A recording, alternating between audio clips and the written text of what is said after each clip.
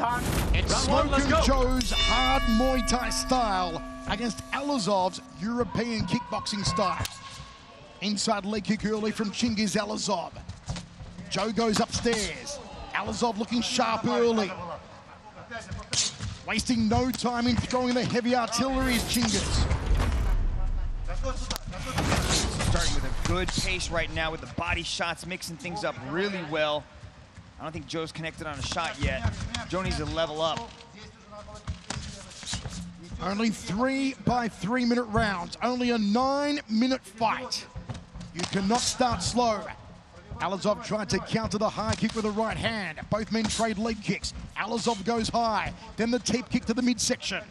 You can see Allazov starting to score, starting to touch, very active, keeping the pressure on Joe. Joe doesn't usually do his best work going backwards, but that power is still a game changer for Joe. Nice little three touch. And that was out of southpaw stance. Now he switches back to orthodox stance. Beautiful work there from Chingiz Allazov. Hooks to the head, then goes to the body on Smokin' Joe. Yeah, Chingiz has nasty power. He's a sick switch hitter. He gets power out of both sides. I don't think that and Joe expected Chingiz Allazov to open up this quick, this hard. He backs him off with the right hand. That right hand touched him. Uppercut. Wobbled him a bit. Oh, it drops Joe. Neutral. Go neutral. Chingiz Allazov scores the first knockdown. Five, Can six, Joe get to his feet? seven, he rides the count, eight. takes a breather, and he's up. Good.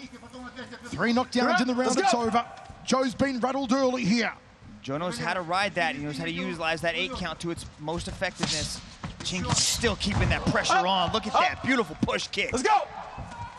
Smoking Joe and a whole lot of bother early on. He loops the right hand, Go just for a second time. Three. Two, Michael. That's four, two. Oh, five, this is a murderous six, round from Chingiz seven, Allazov. Is it over?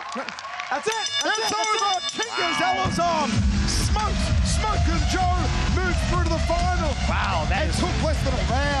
round. that is fine form, Michael. Chingiz Allazov looks spectacular. I'm to ask, what would he have done to Merrick Grigorian looking like that? That was a Chingiz Allazov that we haven't seen before. Man, pressure, smoothness, switch hitting off of both sides. The pressure, the reaction time. I don't know if Joe, Joe landed a shot on him, man. That was that was phenomenal. That was a phenomenal, flawless performance of precision, timing, speed, and power. Look at this. Uppercut.